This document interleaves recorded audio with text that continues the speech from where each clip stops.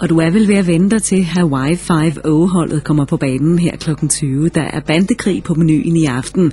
Superbad hedder aftenens film, en college-komedie efter bedste opskrift med Jonah Hill og Michael Cera.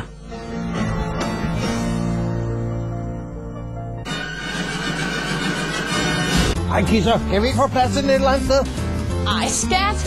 Den kan jo ikke engang komme ind ad døren. Programmet præsenteres af 14 dages fuld returret fra Lise.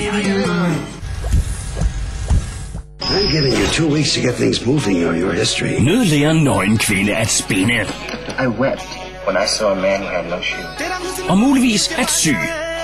Till I met a man who had no penis. Men ikke at drive en tv-shop. What the hell is going on here? TV history? Wow. Mayday, Mayday, this is a massacre. Holy man, fredag kl. 21 på TV3+. I hjertet af København ligger Danmarks vildeste tattoo-salon. Her arbejder fem stærke personligheder.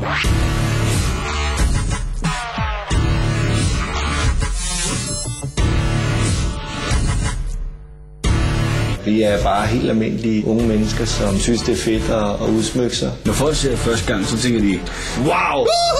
De ser sgu godt ud, de to. Jeg kan godt se, at folk flytter sig. Altså, han er på kendislisten.